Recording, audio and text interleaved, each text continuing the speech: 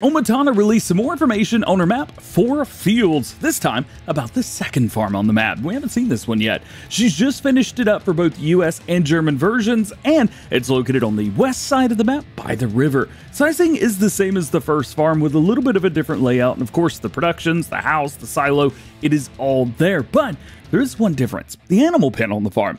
Farm 2 features a horse stable and not a cow barn, and she has said that each farm will have different animals on it, with farm number 3 having sheep, and my guess farm 4 will have pigs, but we don't know that yet.